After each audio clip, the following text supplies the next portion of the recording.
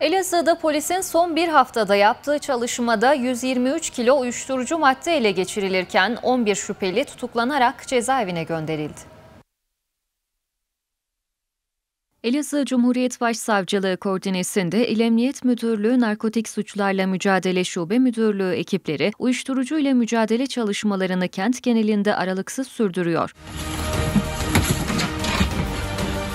Şöyle bir bakalım. Bu çerçevede son bir hafta içerisinde yapılan çalışmalarda uyuşturucu madde ticareti yapmak suçundan yakalanarak gözaltına alınan 11 şüpheli sevk edildikleri adli mercilerce tutuklanarak cezaevine gönderildi.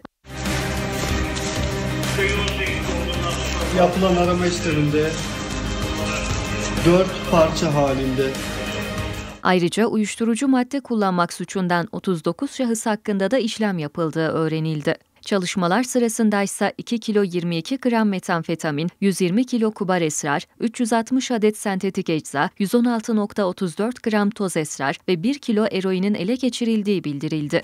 eroin maddesi olduğu değerlendirilen madde